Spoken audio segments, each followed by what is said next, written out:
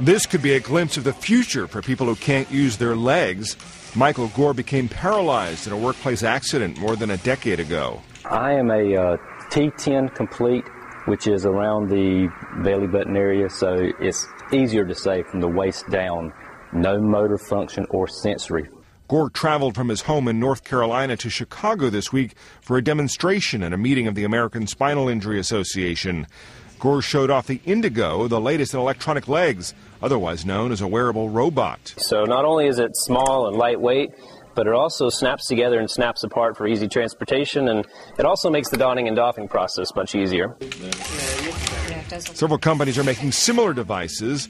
Earlier models were bigger and bulkier, but this 27 pound Indego can fit into a backpack that can hang from a wheelchair. When I lean forward, there is a vibration in the system, in the device, and you can feel it.